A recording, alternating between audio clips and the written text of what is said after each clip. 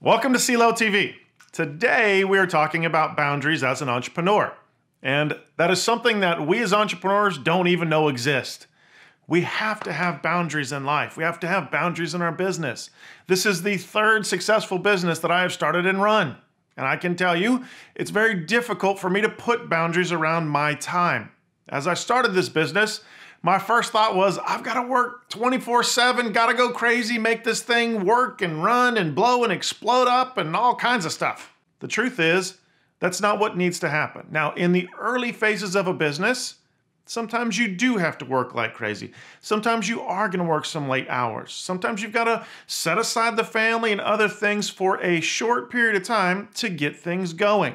But after a while, that needs to settle back down. You need to get your life back. Your business is what you do, not who you are. Now, for those of you that have been entrepreneurs for years and you still do not have these boundaries, get them, put them in place. Get your life back. Yes, your business is important. Yes, you need to take care of customers. Yes, you need to take care of your team. But guess what? If you don't actually take care of you, none of that matters. Don't get to the end of your life and look back and go, what was my greatest accomplishment? My business. That was it. I missed out on family. I missed out on friends. I missed out on social time. I missed out on vacations.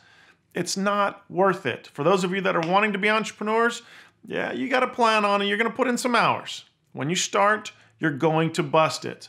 So here's what I want you to do I want you to make a list of all the things that are important to you in your life family, your kids, vacation time, replenishment, whatever it is, time reading books, I don't care. I want you to make a list of all those things, including your work, and then I want you to write down the number of hours you spent on those a week.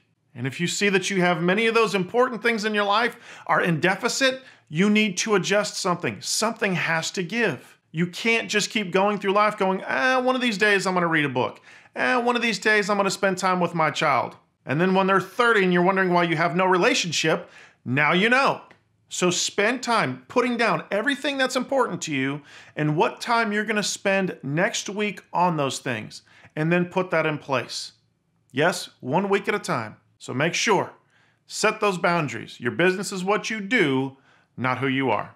Head on over to chrislocurto.com and leave your comments. We want to know what you think about implementing this in your life and business. Also, be sure to subscribe, share, and follow me to be a part of the CLo tribe.